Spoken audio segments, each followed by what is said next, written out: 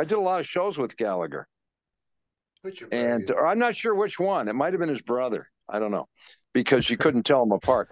But But he, de- uh, definitely did it with his. You definitely did it with his brother. So wait, brother, so yeah. so when Gallagher would work out material at the store, h- h- how do you lot- lot how do you how do you follow a guy to fucking smash his watermelon all over the state? What would you well, do? that was what he called the work? I bring vegetables. Yeah. throw, throw him off. He's like, I, I wrote that.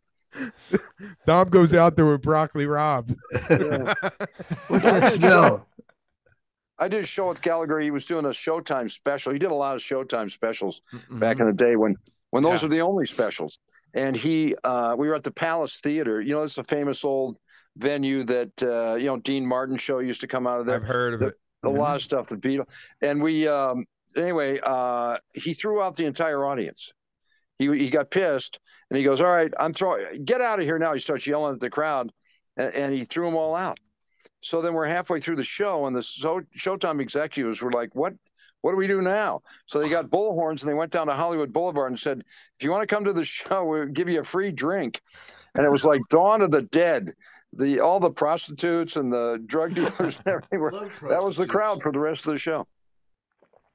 Sounds like an Atlantic City crowd. Yeah. That's anything. Yeah, yeah. Yo, Dom, over here. Hey, Dom, hey. Uh, Yo, Dom.